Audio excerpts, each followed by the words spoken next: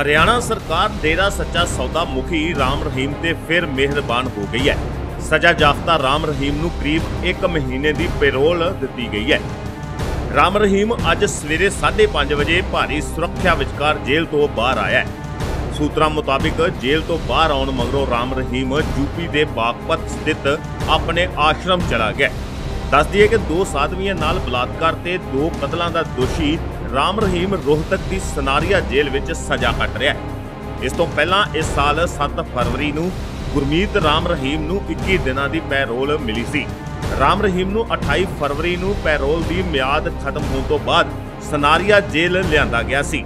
ਪਿਛਲੇ ਸਾਲ ਵੀ ਡੇਰਾ ਮੁਖੀ ਨੂੰ ਆਪਣੀ ਬਿਮਾਰ ਮਾਂ ਨੂੰ ਮਿਲਣ ਲਈ ਸਵੇਰ ਤੋਂ ਸ਼ਾਮ ਤੱਕ ਐਮਰਜੈਂਸੀ ਪੈਰੋਲ ਦਿੱਤੀ ਗਈ ਸੀ।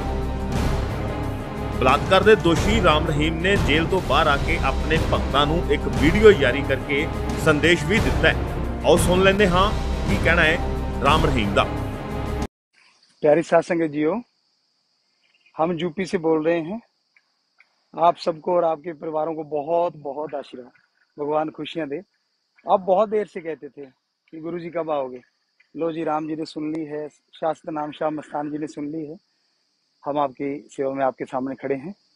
पर एक बात आपसे कहना चाहते हैं कि आपने हमेशा हमारी बात मानी है। हमने आपको दस चिट्ठियाँ भेजी और आपने बड़े प्यार से सुनी, पढ़ी, मानी, बैराग्य भी आया होगा। बड़ा अच्छा लगा कि आपने हर वचन माना। तो आपसे गुजारिश है कि आप अब भी हमारा वचन और हम आपसे अर्ज़ करते हैं मानना कि अपने अपने घरों में रहिएगा। सुमन करते रहें, काम धंधा करते भी सुमन करते रहें। एडम ब्लॉक के सेवादार या फिर वो जिन सेवादारों को आपके पास भेजेंगे तो उनके अनुसार आपने करना है। अपनी मन मर्ज़ी से भागा दौड़ी नहीं करनी। ये आपसे हाथ जोड़ के विनती भी है, आशीर्वाद भी है और वचन भी है। और साईं जी से, शाह सतनाम, शाह मस्तान जी दाता से आप सबके लिए बहुत बहुत खुशियाँ मांगते हैं। आप सबको बहुत बहुत आशीर्वाद कहते हैं। आप खुश रहें, भगवान आपको खुशियाँ दे।